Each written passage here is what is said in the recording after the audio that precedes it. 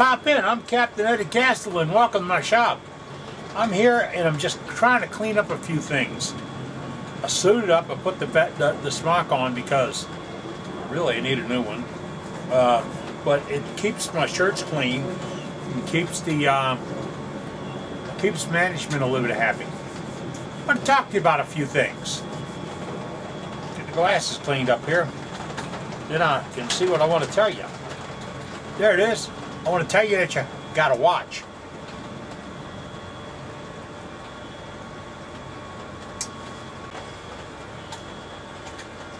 It's one of those summer days in early August when you want to piddle in the shop, but the humidity with the air on is at 90%.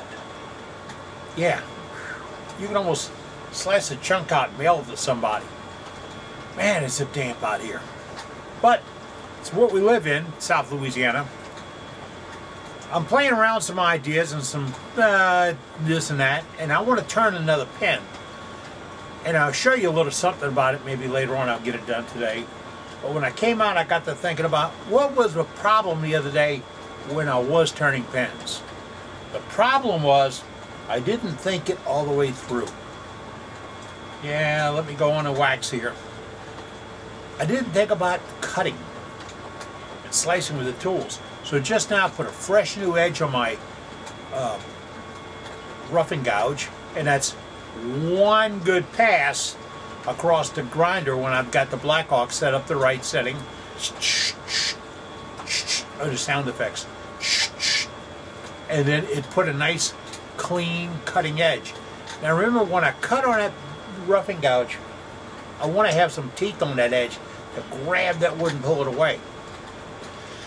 Then after I get it roughed out, I want to get out my skew. Well, that's where I screwed up at. I was not paying attention to how dull the skew had gotten. And when you see me sitting here like this, I've got my diamond stone, a cute term on diamond stone. I got my diamond and I've got my blade and it's right here in front of me not down on a bench and all that and it's where I can sit and actually look be kissing that edge. That'll go down. No heavy use no no muscle movement heavy muscle movement and all that. So I'm just going to lap up that edge a little bit. What I end up with is a very very sharp 25 degree total egg rake on the skew. That is a cutting tool. That is the one I want. I don't have to go back to the grinder. I don't need to go to the belt sander or the Excelsior or whatever they call those things. It's all right here. It's in my hands. It's in my control. And that's as sharp as I need it to be. Now, if I need a sharper, I gotta think twice about what I'm doing here. I just came out to have a little fun. Get out of the house because the weather and stuff. And I came out and I found notes, piles of notes that I've been bringing out for the last couple of months. And this one's dated March. It's to tell them about SWAT. Well, SWAT is this coming the weekend. We're at uh, the 18th and 19th of August. Um, SWAT starts on the 24th or 25th. This it's this Friday, Saturday, and Sunday in Waco, Texas. I do this a lot, but I got to tell you that it's one of the finest, if not the finest, but the nicest, and that's a guarantee fact, nicest wood turning program in the world. Really. So if you're not going, you kind of make plans to make it to SWAT. It's uh, it's well worth the trip. It's centered on. It's one of those things where they're they're centralized in the, in the states. Oh, I got the hiccup, something terrible. And you can get there. And it's a football town, so there's a lot of hotels, a lot of campgrounds, a lot of places to park and stay. And I think some of the better barbecue in that part of the world. But that's coming up. So you need more details, go to the website, swatturners.org. S W A T turners.org and look at it. it's interesting. Then I can tell you about wood turning some pens, right? All right, I had a guy ask me, can he do some pens without using kits and would use them for the Freedom pens? Yes. You can do kitless pens. That's what I'm doing here today, kitless pens. Why? because I'll spin these things out. They cost me nine cents. If I'm, if I'm not watching the sales counter at Wally World, it might go to 12 cents. Um, somebody sits at the dining room table with us and they pick up one of my pens. Oh, I like this. Put it in your pocket. I'm quick to give it away. Put it in your pocket. Enjoy it. It's a gift from me. It's to you. Why? Because I can. Guess what you can do? You can do the same thing. All right? So think about having a little fun with this stuff when you do it. Um, I made reference a while back about getting the AAW Woodturner magazine. I'll be straight and flat with you, bud. I got no budget for this. Really. When I had a brain injury, I went to disability. That was it. I can't focus to do a job. I have problems with organizing a day and getting things done in a fashion. Um, I can make a note. Then I got to make a note to tell me, look at the notes.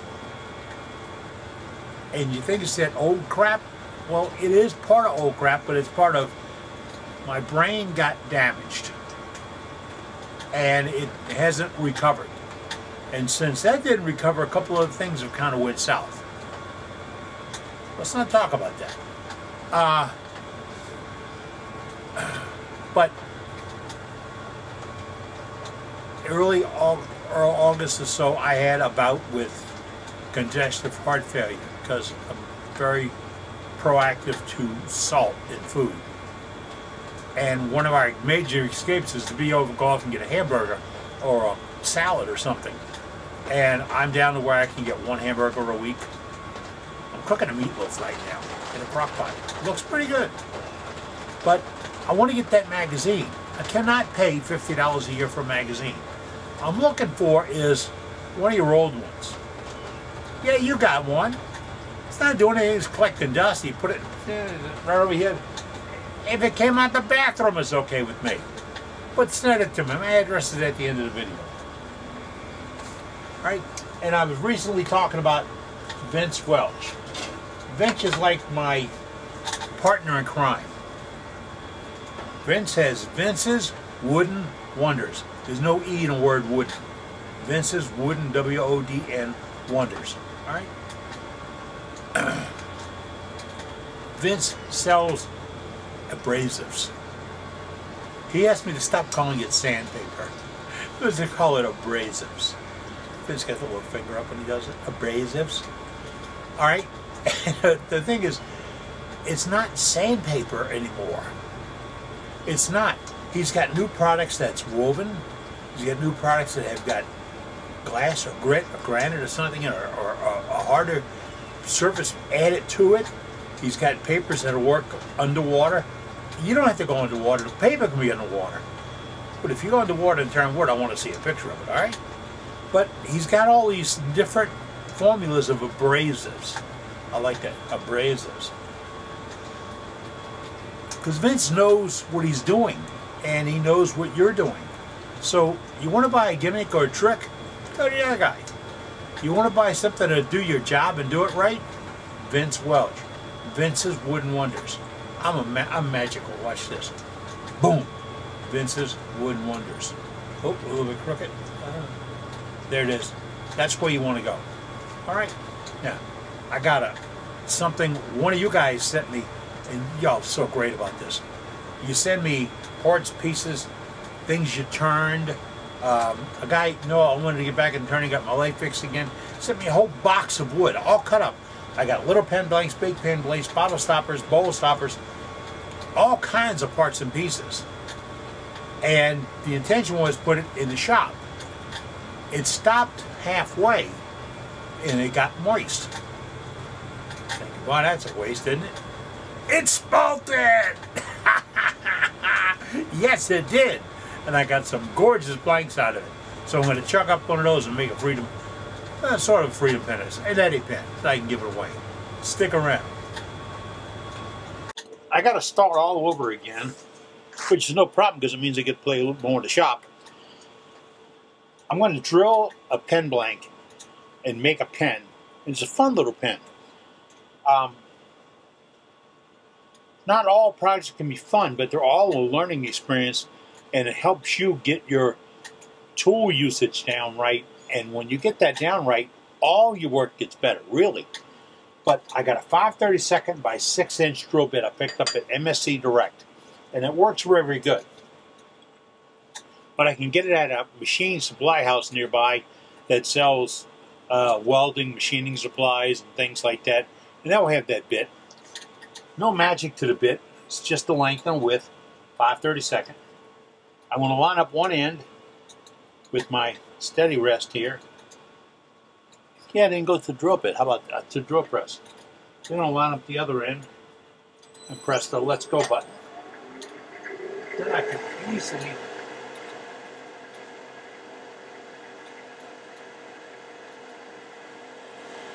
get to the center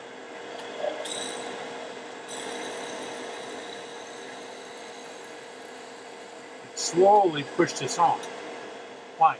Not a lot of muscle, a lot, not a lot of work on it. All right? I don't need that steady rest after this. Back it up.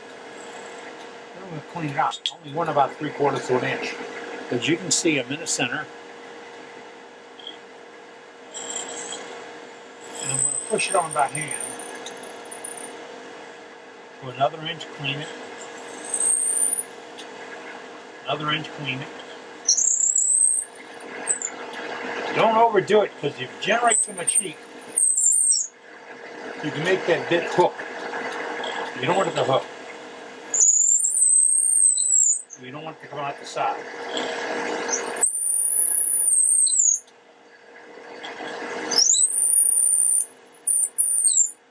Think this is a great pain? No, it's not. It's just what you have to do to get the thing turned.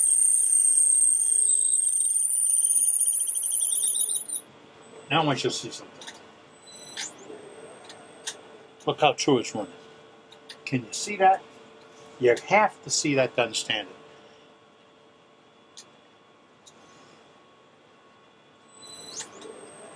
Look how true it's running.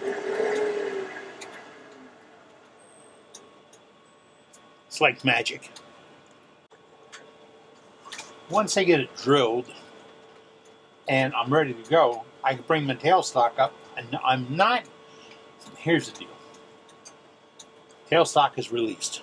No pressure anyway at all. This is spinning on the drill bit. Then I can bring up the steady rest.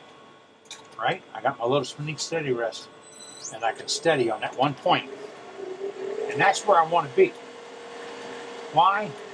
Because if I force this to the center, I could force that hole to be crooked.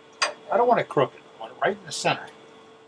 And I've managed to do that for the very special purpose of not forcing it with a drill press. Now, shielding up, I won't cut without the shield being up, is a doctor's thing, okay? Shields up. Rough and go.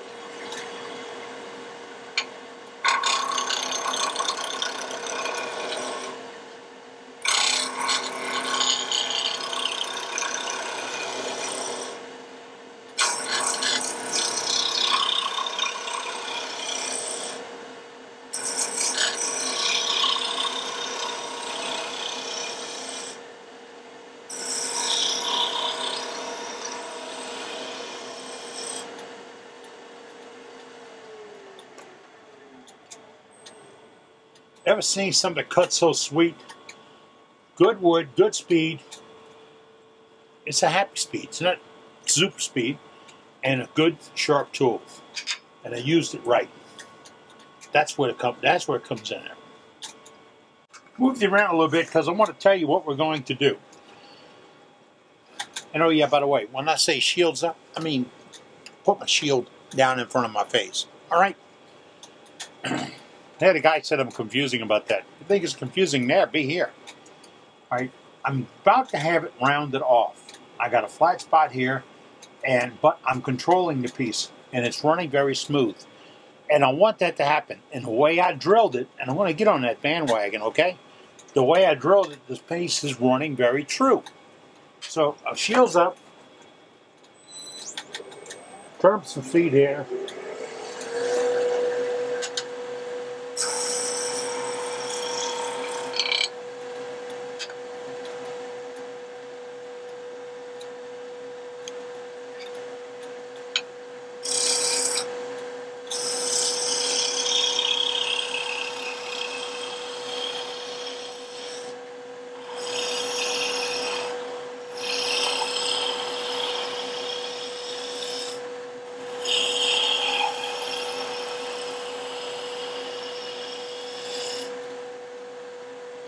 Where am I heading? Funny shape. Think you'll like this.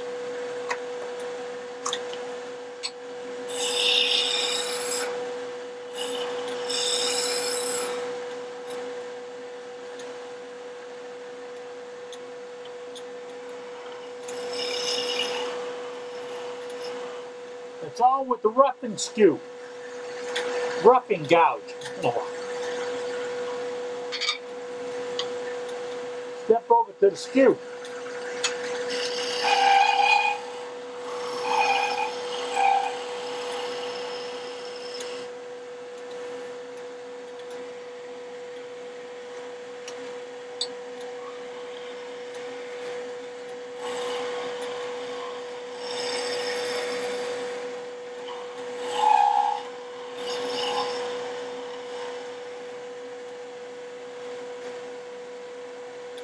Little bitty light cuts will get it there. I want to shape this up a little bit for you, all right? At any time now, you can get on the secret as to where I'm going. That's a funny shape. I'm going to pull out a, oh, a little specialty tool I get from David D-Way Tools. And it's a beading tool. It's nothing elaborate, but it's handy. I'm going to put a little bead on this end down here that's where I'm heading for.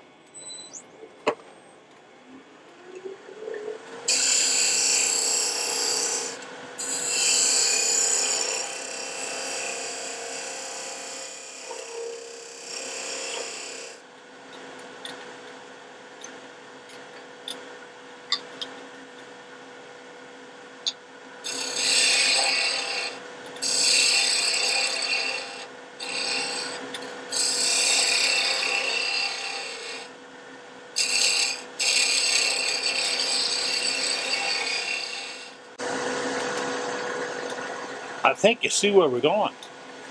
That's the top of the back, the handle, the nub. I got it shaped up, got a little bit something here. I'm going to straighten it up with a skew a little bit.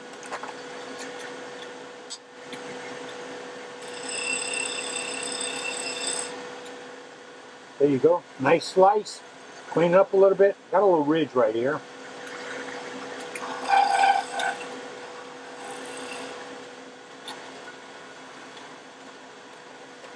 You see the beauty of doing these little projects?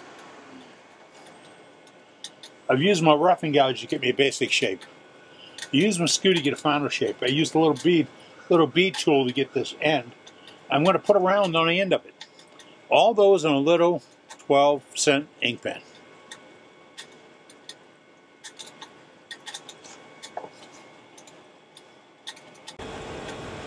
I'm not sure where it went wrong. But I was putting a finish on and showing this to you.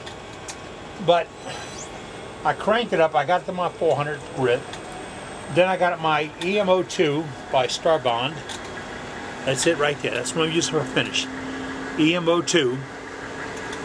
And then I dripped it on and spread it out using this blue paper towel. Never a cloth. And I did about four coats. Now, that's drying as we're talking. So I could stay here and, and put 15, 20 coats, 30 coats on it. I don't see a need in it. It's drying. I'm going to take a little scruffy pad knock off any burnishes and all that might be on it. Just buff down some stuff. You don't you want it to be slick. You really want it to be slick. Right? And then I come back and put a finish coat on. And again, I'm still using that one little strip, that one little rip of blue paper towel from the Home Depot.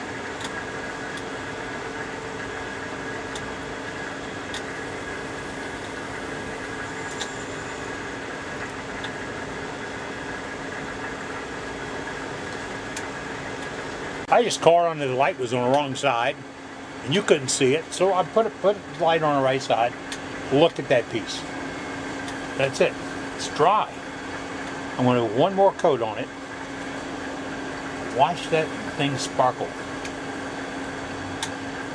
Now the entire time it took me to put the finish on this was about a minute. And I use super glue because it's very resistant to hand oils and it's it's very durable finish. So I can do this.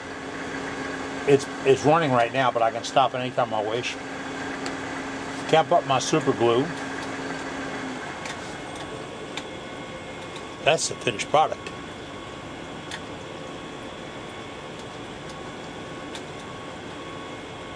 A Couple of safeties. I told you about wearing the shield when you when you're cutting. I'm a little bit nutso about that since one of the doctors who saved my life told me that if I get another traumatic brain injury, you might only be watching reruns.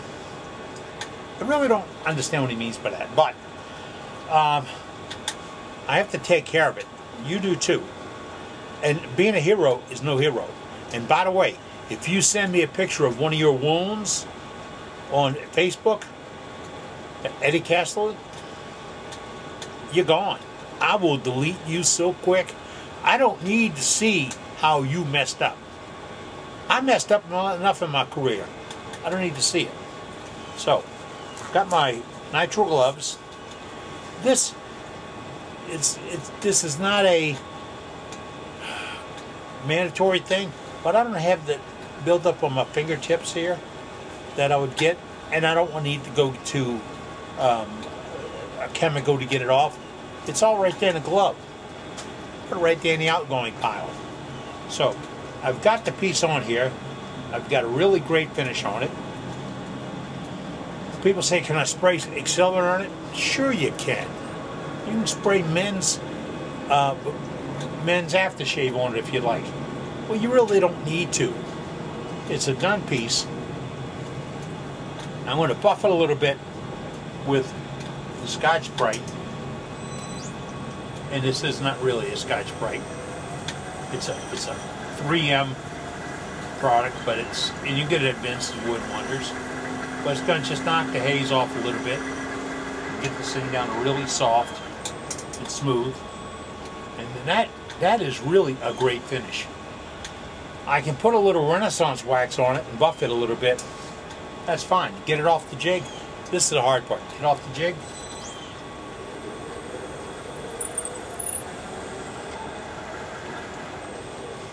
Just like that. Now, my grandson doesn't play baseball yet. He will as soon as he finds a team to manage. Um, but he's got a little baseball bat. A little baseball bat for ink pen. That's something and it's simple. It's a simple little project. I have a nickel's worth of wood from a guy that was one of the viewers and said, hey, you got to try this. And he sent me a nickel's worth of wood. Really great. Thank you so much. Then I went and got these Bic round stick pens. I made fun about Bic and all that stuff, but Bic, it's it's easy, cheap. Walmart. Slides right into that 532nd and boom you're there. How's that? Isn't that something? And you can do these. just if I had to put all my time together we had in this, I could have probably went soup to nuts in six minutes. It's not a timed event. But if you're thinking about how you're going to do that, yes, you can do that. Is it fun? Damn right it is. Will it teach you something? Well, I used my roughing gouge to get a basic shape, which people think a roughing gouge is for roughing. Nope. Then I got up my skew and I put a final piece on it. Piece on it. Used the skew to put the little burns where I want to put the wire, and I made my wire bead out of a piece of uh, guitar wire. And then I used the bead tool I got from Dave at D-Way Tools to put a bead on the end of it, so it looks like a baseball bat. But you can do that with a, with half a dozen other tools in the shop. But all these tools I played with, and I put a 10 cent refill in there, and that is ready. That's done. Done deal.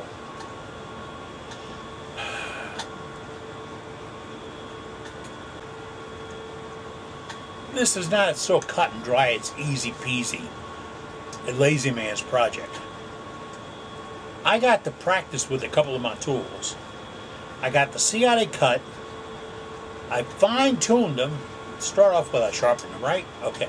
And I fine tuned it and learned how to get the cuts made right. That's the important thing is learn how to use a tool. I did a little embellishment. I did a little bead. I have a useful gift that if right now I'm going to go put this on the kitchen table, and if somebody picks up and says, "Oh, how nice," it go home in their pocket. It can, or I can give them away.